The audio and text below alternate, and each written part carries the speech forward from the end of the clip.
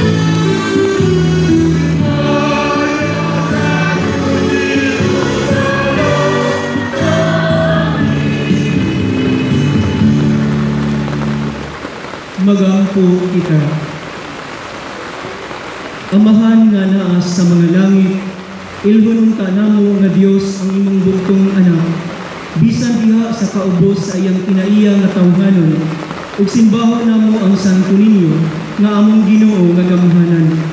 Bisan diha sa kahuyang sa iyang pagkabata. Himua nga magsunod kami kaniya sa matinud-anon nga kasing-kasing. Tabangi kami sa pagdawat uban sa kahinangod sa usa ka bata sa iyang gingharian dinhi kanamo ug sa pagdangat sa ganti nga gisaad alang sa mga mapaubsanon kini among gipangayo pinaagi sa among Ginoong Kristo nga imong anak nga buhi ug hari uban kanimo ug sa Espiritu Santo Dios nga usa hangtod sa kahangturan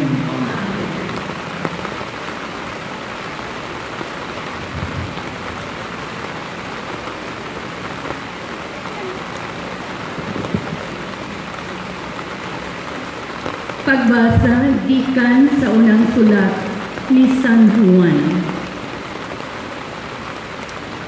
Gihigugma nato ang Dios kay una man siyang nahigugma kanato. Kung may moingon, nahigugma ako sa Dios apan nagdumot sa iyang isig kataw, baka kun siya. Kay unsaon man niya paghigugma sa Dios nga wa niya makita kun wa siya mahigugma sa iyang isig kataw nga makita niya. Ang gisugo ni Kristo kanato mao kini ang nahigugma sa Dios kinahanglang mahigugma usab sa iyang isig kataw. Ang nagtuo nga si Jesus mao ang Kristo, anak sa Dios, ug ang nahigugma sa usa ka amahan, nahigugma usab sa iyang anak. Mailan nato nga nahigugma kita sa mga anak sa Dios, kung higugmaon nato ang Dios ug tumanon ang iyang mga sugo kay ang ilhanan nga gihigugma nato ang Dios mao nga gituman nato ang iyang mga sugo ug dili lisod tumanon ang iyang sugo kay ang tanang anak sa Dios makabuntog sa kalibutan ug gidaog nato ang kalibutan pinakagi sa atong pagtuo. ang pulong sa Ginoo. Salamat sa Diyos.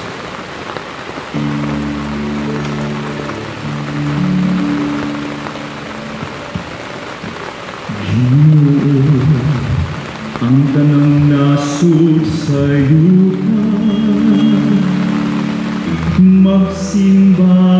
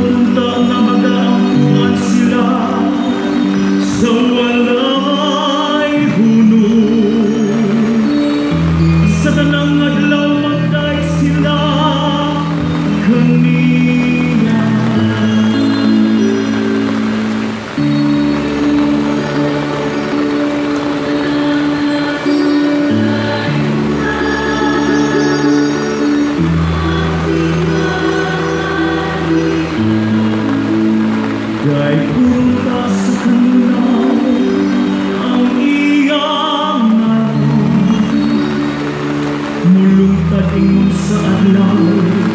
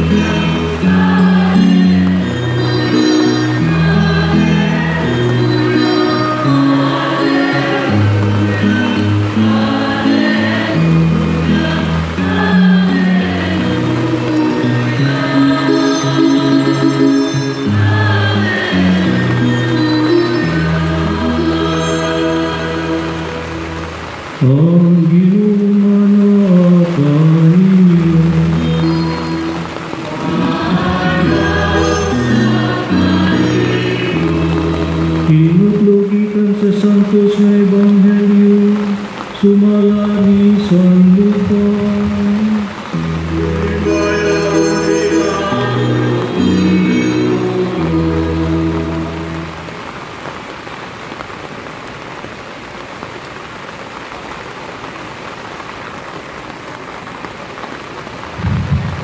Kunya di Pauli sa Jesus sa Galilea, udiha kaniya ang gahom sa Espiritu Santo. Mikaylap sa tibuok kayutaan ang balita, mahitungod kaniya. Nagtudo siya sulod sa ilang mga sinagoga, o giday siya sa tanan. Kunya miyadto si Jesus sa Nazaret, diin siya nakato. O ingon sa naandan, miyadto siya sa sinagoga sa adlaw nga ipagpahulay. Mitindog siya aron pagbasa sa kasulatan o gitulungan siya sa basahon nga sinulat ni Propeta Isayas.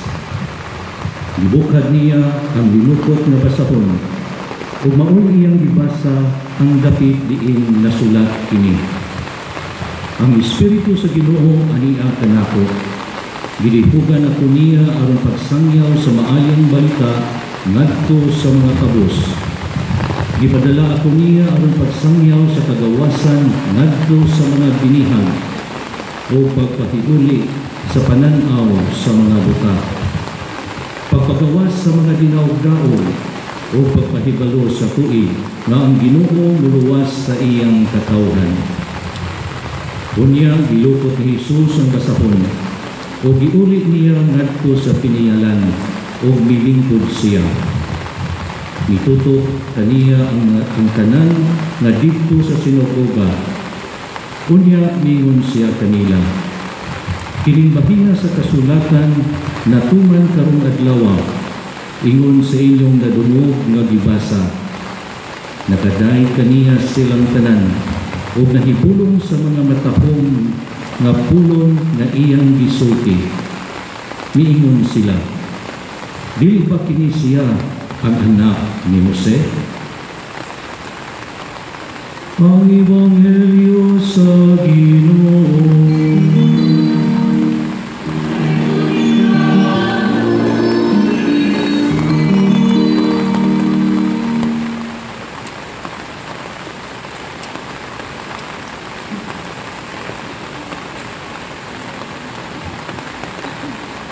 Maayong hapon kanatong tanan. Palihog ko lingi sa inyong wala. O ingna ang naglingkod sa inyong wala. Pit Senyor. Ang naglingkod usab sa inyong tuo ingna pod siya. Pit Senyor pod nimo diha.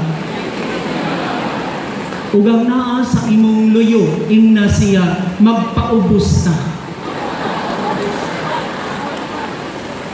mga igsuon pagkaanindot sa atong tema nining atong kapistahan karon Santo Niño giya sa mga anak sa Dios sa pagkamapaubsanon ug pag-alagad. Ako na siyang punan ti nga pag-alagad.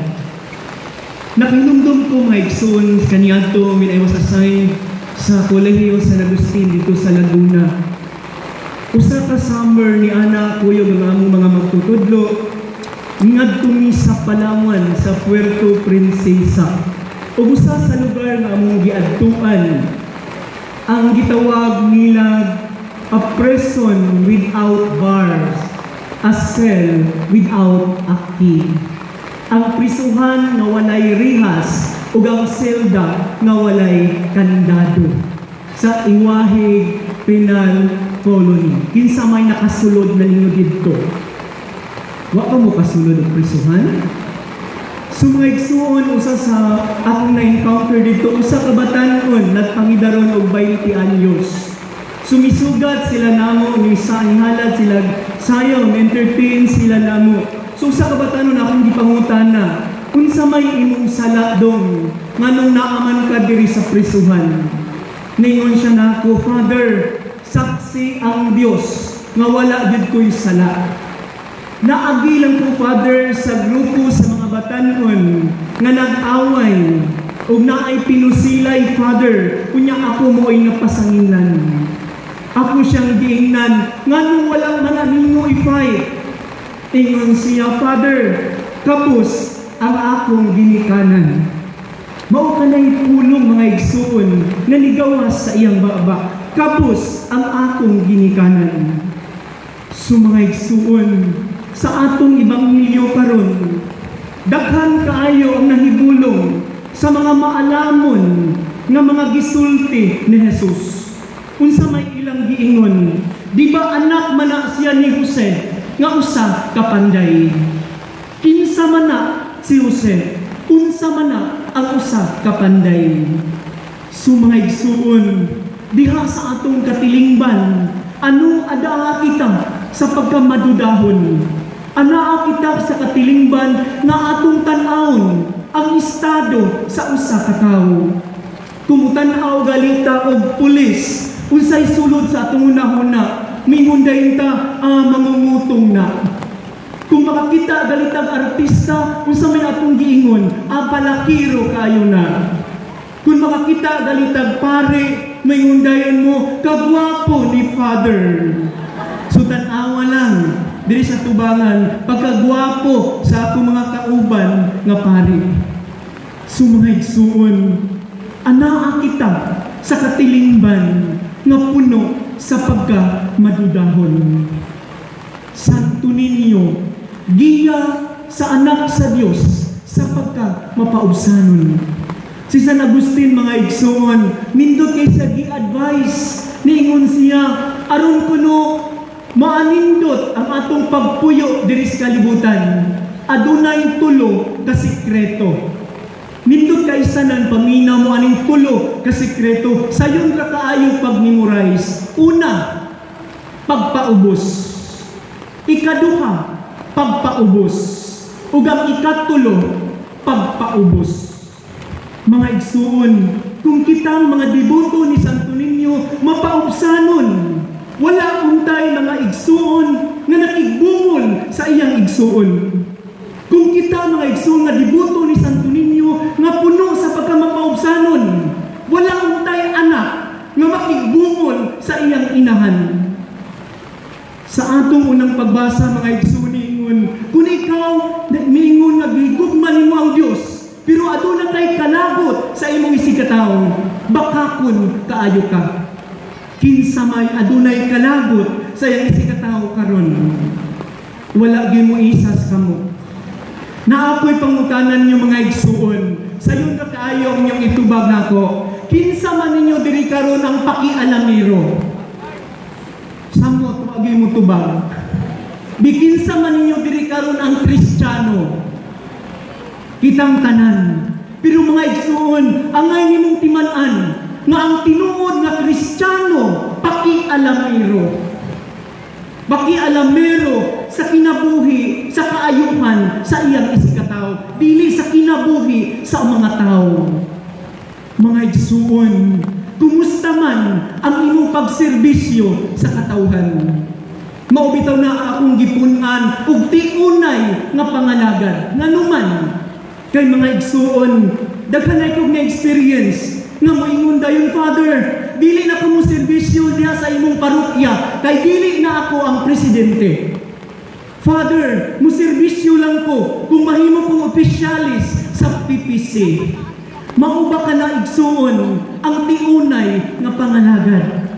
Diya sa atong nasod mga igsuon, diya sa atong panggobyerno, mupatay og tao aron lamang makalingkod sa iyang pwesto. Mao ba ka na ang tiunay nga pangalagad? Mga igsuon, pagkadako sa hagit nga atong atubangon karon. Daghan kaayong mga devotos ni Santo Niño, pero ang pangutana, pila naman kaha ka porsyento ang mapaubsanon. Pila ra kaha ka porsyento ang adunay tiunay nga pagpangalagad mga igsuon, pagkanglingig paminawon sa atong pagbasa karon. Daghan siguro kayo kanato karon ang naigo sa atong mga pagbasa. Pero mga igsuon, kinsa may naigo sa atong pagbasa karon? Wala kabuutan di ay nato. Kabuutan di ay sa mga dibuto ni Santo Niño. Mao ka hindot mga igsuon nga diha sa atong pagdibuto ni Santo Niño, mamahimo kitang tao nga matarong. Aron sa ingon ni Ana, dili nganlan og stupid si Santo Niño. Kay bunga sa atong mga pag-ampo, pagdibuto ni Santo Niño, mao ang atong sa kinaiya sa usa ka bata. Matod pabitaw ni Mother Teresa mga igsuon, the fruit of prayer, the fruit of faith is prayer, and the fruit of prayer is love, and the fruit of love is service. Si San Agustin niingon siya, the only burden is love. Ang mabag lang ko ng mga igsuon, ang gugma. Pero miingon siya, gaan kaayo ang gugma. So mga igsuon, kinsa man ninyo diri karon ang mahigugmaon. Wala gihapon. Ug gitugnaw lang siguro ta diri karon. So mga igsuon, hinaot pa unta nga diha sa atong pag pagwarawara sa atong mga kamot nga naingon sa pagtan-aw kanimo nahimo kaming Kristiyano. So, mga igsuon, sayon ra kaayo ang pag-claim that we are a Christian. Pero kumusta man ang imong kinaiya? Lisod kaayo mga igsuon, ang pagpuyo diha sa katarong. Kung ato lamang saligan ang atong tawhanon nga kahuyang. Maumangani na mga igsuon nga sa Santo Niño, nining atong kapistahan karon, siya ang mugiya kanato diha sa atong pagkamapaubsanon. Lisod kaayo ang pagpaubos. Kinsa bagoy ganahan nga yatakan ka sa imong isig katawo. Mga igsuon, hinaot pa nga sa atong pagpauwan karong hapuna dili maarkanse kay kita nagpuyo isip mga tiunay na dibuto ni Santo Niño. Sunindot kaay mga igsuon nga sa atong pagka-Kristiyano aduna kitay mga pagtulunan nga angay usab natong ikapasigarbo. Mga igsuon, kung naamang kay angay nga ikapasigarbo mga igsuon, ang imong pagka-maanindot o ang imong pagka-tinuod nga dibuto ni Santo Niño. So hinaot paunta. Ato ka nang iampo, magpakiluoy kita sa Diyos ng bata. Nga unta, tagaan kita niya kasing-kasing, nga kamaumutan-aw, bisan pa sa unsay panagway sa atong isig katao. Kanungdong ko sa una, gi-invite kong house blessing dito sa Laguna kanang subdivision bitaw ni Manny Pacquiao sa Brentville. So since excited kaayo ko nga musulod sa maong subdivision, alas 11 ang blessing, alas 10 dito na ko. Pagsulod na ko sa balay, gisugat ko sa usa ka dunya kay siya tan-awon. Ingon siya na ako ay sir, adto lang sa kasagawas kay wala pa man magsugod ang blessing. Naapamigi paabot nga bisita. Sumigawas in town ko nga igsuon, kay gamay man kay ko nga pare, no? Fitos pa kay kitanahon. So mula nigawas ko, niabot ang alas 11 mga igsuon, wala gyud ko mobalik sa balay. So nanawag ang akong ang among sekretary kung hain na daw ko. So ako siyang giingnan, nisulod na ko sa ilang balay, pero iya kong gipagawas kay naapa ko nagbisita nga gipaabot. Sumuna mga igsoon iya kong gikuha dito sa ilang clubhouse. Yaningon siya nako, ay, Father, sorry kaayo. Abi man ako, dili ka pare. Mga igsoon, kitang tanan, tanawan ang imong katupad. Siguro mo imong kaya ang iyang gisulob o kay-ukay. Pero angay nimong timanan, nga usa ka na siya sa hinungdan, nga nung nagpakamatay ang atong ginoo. Imagine that nagpakamatay sa Jesus. Pwede man tatanyang luwason. In one snap of a finger, He can save us without dying on the cross.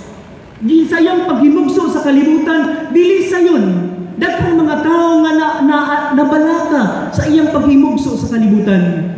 Pero mga igsuon, wala ka na buhatan ni Jesus. Nga naman, kay alang kaniya, ang pagluwas sa katawhan is not a work of power, but a work of love. Gugma mga igsuon ang maghari unta sa atong kasing-kasing. Aron sa ingon ni Ana, we are proud to say nga ako dibuto ni Santo Niño. Hinaot paunta sa ngalan samahan ug sa anak ug sa Espiritu Santo. Amen.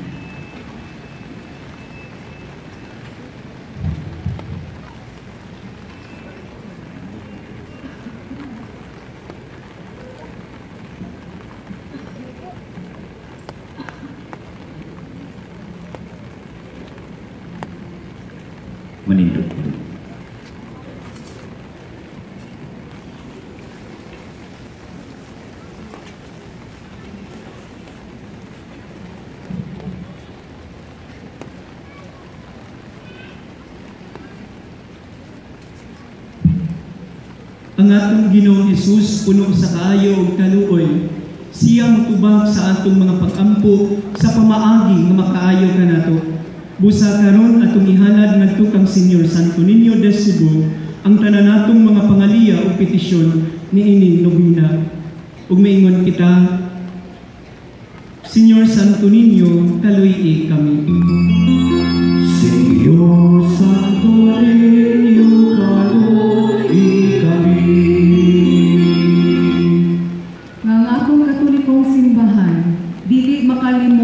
pag-atiman sa mga timawa o mga sinalikway sa atong katilingban. Mag-ampo kita sa Ginoo. Señor Santo Niño,